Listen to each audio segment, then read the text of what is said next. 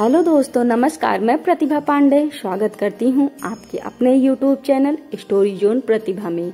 आज हम आप, आपके लिए लाए हैं माता शबरी की कथा। बात भगवान राम के जन्म से पहले की है। जब भील आदिवासी कबीले की मुखिया आज के घर बेटी पैदा हुई थी, उसका एक नाम सुनमणा और दूसरा नाम शबरी रखा गया। शबरी की माँ इंदुमशी उसे खूब प्यार करती थी। बचपन से ही शबरी पस पक्षियों की भाषा समझकर उनसे बातें करती और जब सबरी की माँ उसे देखती तो कुछ समझ नहीं पाती थी। कुछ समय बाद एक पंडित ने शबरी के परिवार को बताया कि वो आगे चलकर सन्यासी बन सकती है। इस बात का पता चलते ही शबरी के पिता ने उसका रिश्ता तय कर दिया। जैसे ही शादी का दिन नज़दीक आया, शबरी के घर वालों ने खूब सारी बकरियाँ और अन्य जानवर घर के पास लाकर बाँध दिए। एक दिन शबरी का माँ जब उसके बाल बना रही थी तो उसने माँ से पूछा, इतने सारे जानवर हमारे घर क्यों लाए गए हैं? माँ ने जवाब दिया, बेटी, तुम्हारा विवाह होने वाला है, इसलिए हम लोगों ने इनका इंतज़ाम किया। बलि के लिए किया है। तुम्हारी शादी के दिन ये बलि प्रथा होगी और फिर इस दिन स्वादिष्ट भोजन बनाकर सबको परोसा जाएगा। यह बात सुनकर शबरी बहुत दुखी हुई। काफ़ी देर तक शबरी ने उन जानवरों को आज़ाद करने के बारे में सोचा।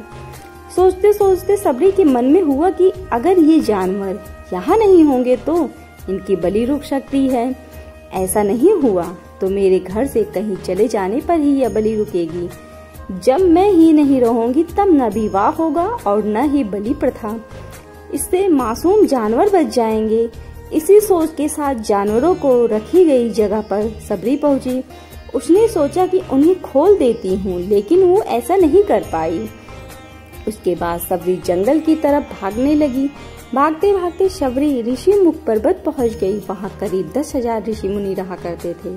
शबरी को लगा कि वो भी इसी जंगल में किसी तरह ऋषि मुनियों की सेवा करके अपना जीवन जी लेगी। वो चुपचाप उसी जंगल में एक हिस्से में किसी तरह से रहने लगी। शबरी रोज़ाना ऋषि मुनियों की झोपड़ी के आगे झाड़ू लगाती और हवन के लिए लकड़ियाँ भी लाकर रख देती। ऋषि मुनियों को समझ नहीं आ रहा था कि जंगल में उनके काम अपने आप कैसे हो रहे हैं।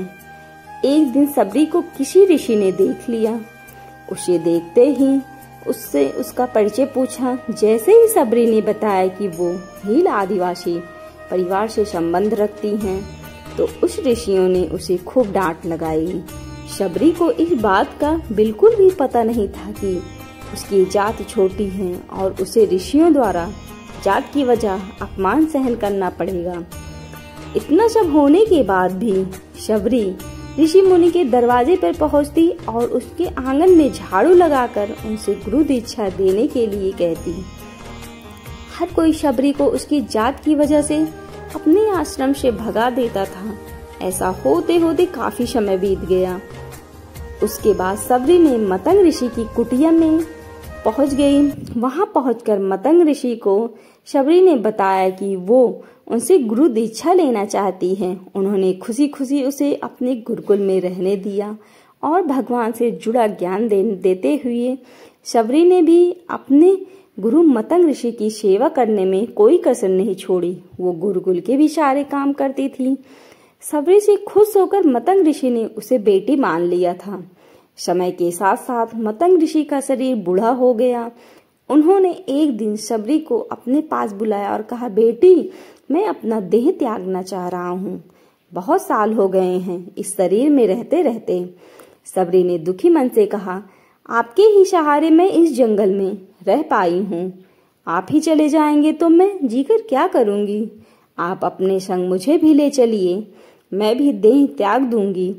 मतंग ऋषि ने जवाब दिया, बेटी, तुम्हें चिंता करने की ज़रूरत नहीं है। राम तुम्हारी चिंता करेंगे और ध्यान भी रखेंगे। सबरी ने राम का नाम सुनने के बाद पूछा, वो कौन है? और उन्हें मैं किस तरह से ढूंढूँगी? मतंग ऋषि ने बताया, राम कोई और नहीं। भगवान है, वो तुम्हें सारे अच्छे कर्मों का फल देंगे। तुम्हें उन्हें ढूँढने की कोई ज़रूरत नहीं है। वो एक दिन खुद तुम्हें खोजते हुए इस कुटिया में आएँगे और तुम्हें उनके हाथों ही मोच मिलेगा। तब तक तुम इसी आश्रम में रहो। इतना कहते ही मतंग ऋषि ने अपना शरीर त्याग दिया। सबरी के मन में मतंग ऋषि के जाने के बाद से एक ही बात थी कि भगवान राम स्वयं उससे मिलने आएँगे। वो रोज भगवान राम से मिलने के लिए बाग से अच्छे अच्छे फूल लाकर पूरा आश्रम सजाती और भगवान के लिए बेर तोड़ कर लाती। भगवान के लिए बेर चुनते हुए सबरी ने उन्हें चख लेती थी, ताकि भगवान वो सिर्फ़ मीठे बेर ही दे। रोज़ाना सबरी इसी तरह भगवान के दर्शन की आस में फूल और बेर इकट्ठा करती रहती थी। इसी तरह इंतज़ार में कई साल बीत गए। शबरी का शरीर एकदम वृद्ध हो गया।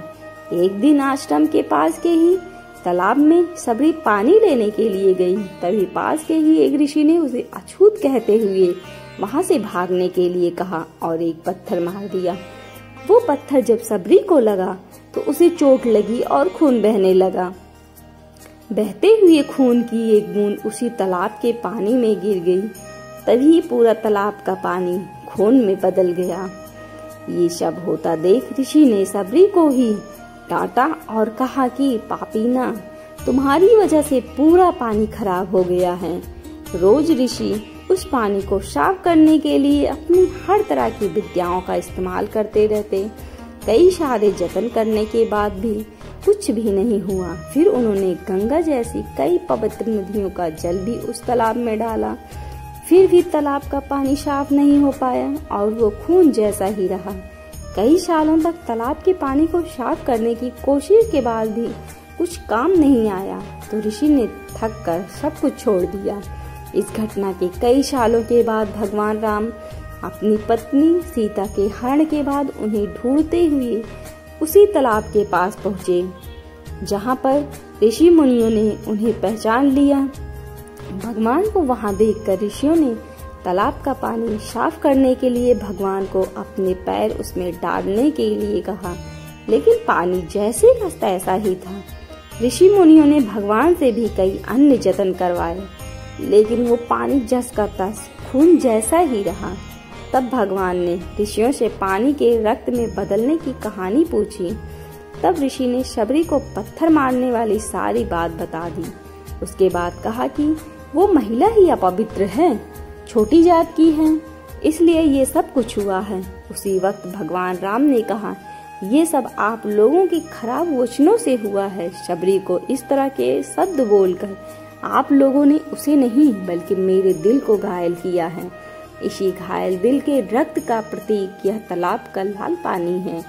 आगे भगवान राम बोले, कहा, है वो माई, मैं उनसे मिलना चाहती हूँ, चाहता हूँ तब तक सबरी उसी तालाब के पास पहुँच जाती है। इस दौरान सबरी के पैर को ठोकर लगती है और कुछ धूल उस तालाब में गिर जाती है। तभी सारा पानी साफ़ हो जाता है। भगवान सबसे कहते हैं कि देखिए, आप लोगों ने क्या कुछ नहीं किया, लेकिन पानी साफ़ नहीं हो पाया। अभी सिर्फ़ इनके पैर की थोड़ी सी धूल ने ही तालाब का पानी साफ़ कर दिया। भगवान राम को सबरी पहचान चुकी थी। उन्हें प्रणाम करके सबरी ने कहा, भगवान, आप मेरे साथ कुटिया में चलिए। भगवान भी खुशी खुशी सबरी के साथ चल पड़े। फूलों से सबरी ने भगवान राम का स्वागत किया। वो सीधे बेर तोड़ने के लिए बाग गई और चक चक कर उनके लिए बेर लेकर आई। उन्होंने बड़े ही प्यार से भगवान राम और उनके भाई लक्ष्मण को बेर दिए। भगवान राम ने भी उतने ही प्यार से उन बेर को खाना शुरू किया।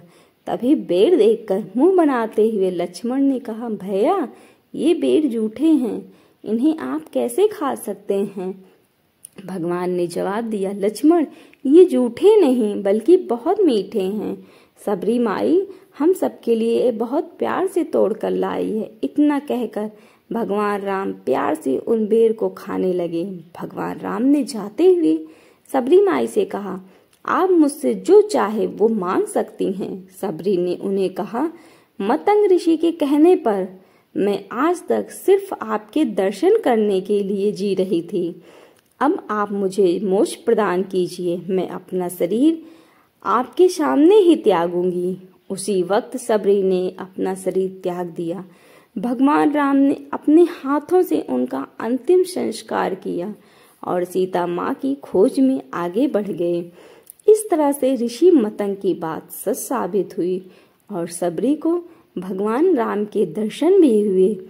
तभी से भगवान राम को शबरी के राम भी कहा जाने लगा। दोस्तों, हमें कहानी से ये सीख मिलती है कि सच्ची श्रद्धा हो तो भगवान राम के दर्शन ज़रूर होते हैं। दोस्तों, अगर आपको मेरी कहानी अच्छी लगी हो तो प्लीज़ लाइक, शेयर, कमेंट करना मत भूलना। और हाँ दोस्तों, बेल आइकन ज़रूर दबाना, सब्सक्राइब ज़रूर करना। और जितना हो सके, इसे अपने लोगों में ज़रूर से, ज़्यादा से ज़्यादा शेयर करिए। धन्यवाद।